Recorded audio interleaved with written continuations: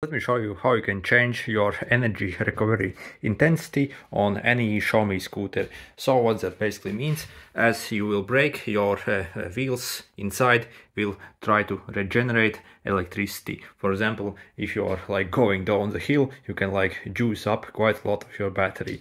And to enable this, you have to basically uh, download this Xiaomi Home app and go to it after you pair the scooter and turn it on basically.